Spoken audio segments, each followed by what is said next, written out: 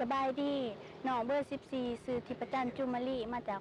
บ้านสนวนใหญ่เมืองและแขวงสารวัตรเนาะมื้อนี้นองก็มีความดีใจและก็ตื่นเต้นที่ได้เขาประกวดในรายการซองฝ่า5ดาวซีซั่น4ของแขวงสารวัตรเนาะ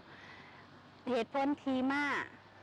รายการนี้เนาะน้องก็คือว่าอยากเป็นนักร้องนักศิลปินเนาะ